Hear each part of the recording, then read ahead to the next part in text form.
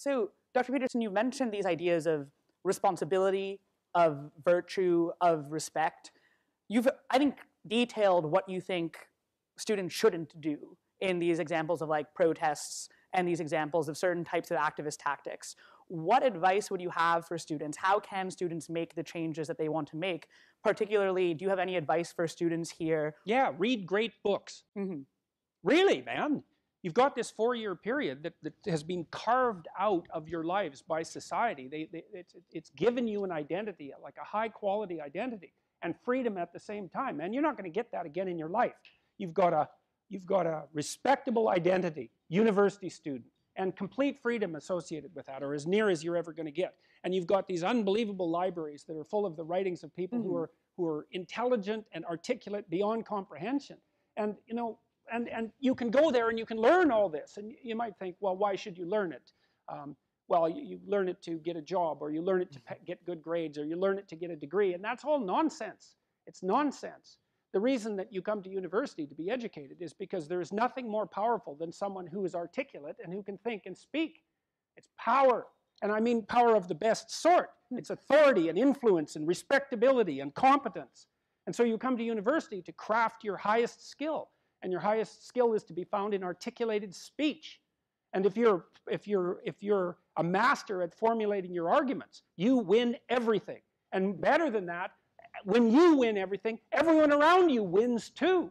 Because to transform yourself into, let's consider, consider your transformation into something approximating the logos, it means you shine a light on the whole world. Well, there's nothing more exciting to do than that. There's nothing better you can possibly do. And to think that you're coming to university to be, you know, trained to have a job, it's like, great, that's a hell of a lot better than being unemployed and covered with Cheeto dust while you're snacking away in front of your video game in the basement. But it's not, it's not a, and I don't have anything against video games, by the way. But, it, it- but it's hardly a triumphant call to, to being in the world. And that's what university should be calling forth. It's like, God, you people, you, you know, I, I know what Harvard students are like. I taught here for five years. You people are spectacular. You're spectacular. You're, you're, you're, you're all capable of being world beaters. You transform yourself into something that's articulated and sensible and grounded in history and knowledgeable and wise, man. You can do anything you want and hopefully anything you want for good. Because if you have any sense, everything you want to do would be for the good because there's nothing more compelling or meaningful or, or useful in combating the tragedy of life than to, than to struggle with all your soul on behalf of the good. And the mm-hmm. universities have forgotten that. It's why everyone's bailing out of the humanities, and they should. The humanities are mm-hmm. corrupt. And they're mm. corrupt because they're not telling students this. It's so bloody obvious. It's like, learn to think, learn to speak, learn to read. It makes you a superpower, an individual superpower. You have, it, it- and I don't understand why that isn't just told to students. It's not that hard to understand, and everyone wants to hear it. It's like, really, I could do that? I could do that? It's like, yeah, really, you could do that. And the whole society around you has labored for really thousands of years to provide every single one of you with this spectacular opportunity that you have while you're undergraduates and graduate students here, mm-hmm. man. They're just, everyone's just praying that you would come here and manifest everything that you could manifest. And that's what you should be doing instead of waving placards and complaining about how you're oppressed, for God's sake. Hmm. You see these Yale students complaining about their oppression. It's just, it just leaves me aghast. It's hmm. like, well, we're against the ruling class. It's like, no, no, no, you're baby ruling class members. You're young.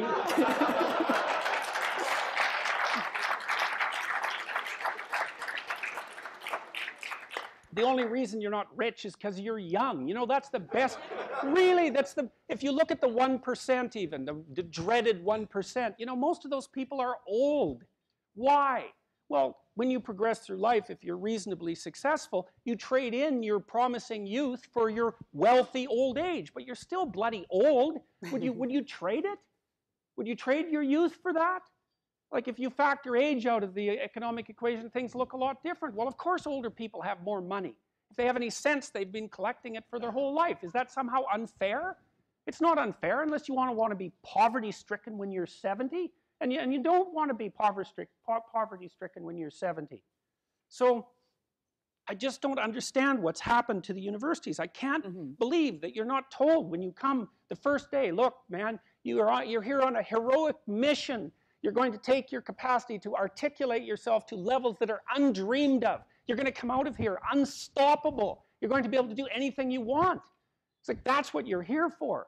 Mhm. Instead, you're taught that, well, you know, the world's a pretty oppressive place, and you're probably the bottom of the victim pile, and and and and there's and there's oh, there's virtually nothing you can do about it except you know deconstruct the patriarchy, and it's so weak-kneed and so pathetic that that that universities should be embarrassed that that's what they're peddling to students.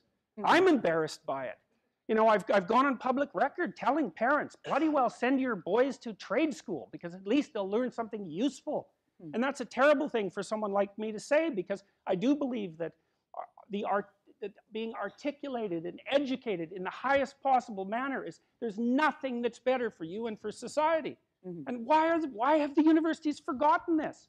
Well, that's postmodern neo-Marxism for you, you know. That, then the philosophy of intense resentment and oppression and group identity and God, it's just Mhm. pathetic. Dr. Peterson, I think a lot of students here would agree with you that one of the main purposes of uh, education at college, particularly at Harvard, is to develop their sense of articulation, their ability to read, their ability to crit- uh, critically think. But then what comes after? Particularly at Harvard, there's a big discussion on what is a good life? What does it mean to use those skills that we get here and then we graduate? What do we do from there? Stop, And I think- stop Mhm. unnecessary suffering. Mhm. That's what you do. You know, that, So- that, that's your Mhm. calling. It's like you say, well, what do you do after you graduate? Well, if you graduate articulated and powerful, Mhm. there will be people giving you so many opportunities you won't even be able to keep up with them. You know, and, and, and I've worked with comp, very, very competent people in many different domains in my life, hyper competent people. And I can tell you some very interesting things about hyper competent people. The first thing is they are not selfish and they're not greedy. And one of the great pleasures in their lives is to find people who have the capacity to also be hyper competent and to open doors for them as rapidly as they can possibly be opened. They delight in that because there is, there's nothing, there's, there's very few things that are more intrinsically meaningful if Mhm. you're an accomplished person than to find young people who have the possibility of being accomplished and say, hey, look, here's an opportunity for you. It's like, go out there, man, kill it. And then they go out there and kill it, and you think, right on, man. Here's another opportunity. Why don't you go out there and nail that too? And you think, no, no, they're all hoarding their wealth and they're not going to share it with anyone. It's like, that's absolute, complete rubbish. Mhm. And so you don't even have to worry about what you're going to do after you graduate from here if you, if you turn yourself into half of what you could be, because people will be dying to offer you every opportunity that you can possibly make use of. So it's, it's, it's a moot point. The, the, the world is always desperately short of people who can think and speak. And, Mhm. and you think, well, I, that, I won't be made use of. Well, you, first of all, you can't say that if you're, at, if, if you're at Harvard, for God's sake. I mean, people already figured out who you are. They've already figured it out. And they're offering you the world on a, on a gold platter. They take it. It's yours. Mhm. Take it. It's like, great, man. Put Mhm. yourself together and deserve it. That would be great. And that's what everyone wants. It's what your parents want. It's also what you want. You know it. It's what you want. It's what men, it's what women want from men. It's what men want from women. It's like for you to be who you could be. And, and the highest faculty of the human being is articulated speech. Mhm. It, it's, it's the divine faculty. And there is nothing more powerful than that. There's nothing that's even in the same league. And so if you, if you don't have faith in that, then your, then your priorities are misplaced. And I, I can't even understand why you wouldn't have faith in that being, say, Harvard students, because look where it's got you already. You know, you're already sitting on top of the world. So make, deserve it, make use of it Mhm. right? Go out there and fix things up. That's what you need to do. There's lots of things that need to be fixed up. And what you want to do is burden yourself with so much responsibility that you can barely stand. And then you'll get stronger trying to lift it up. And you won't be asking, what should I be doing with my life or what's the meaning of life or any of that. It'll be self-evident. Mhm. It's self-evident. At minimum, you can say, there's more suffering in the world than there should be, and I could probably do something about that. And you Mhm. can do something about that. So go do something about it Mhm. and then there'll be less suffering in the world. And then when you're 80, you can look back on your life and say, well, you know, there's less suffering in the world than there, than there would have been had I it existed. And, and you don't have to even have a, a sense of, of ultimate destiny or even any sort of theistic belief to Mhm. regard that as a positive good.